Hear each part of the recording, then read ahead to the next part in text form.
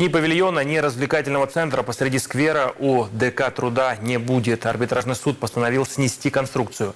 Напомню, стройку посреди парка местные жители заметили в апреле. Тогда прямо на пешеходной дорожке рабочие залили фундамент. Благодаря вниманию СМИ дальше строительство так и не продвинулось. Борьба за этот участок между арендатором и компанией, компанией «Архон-М» и мэрией началась еще до начала работ. В итоге, после года разбирательств, суд постановил демонтировать постройку в течение двух недель.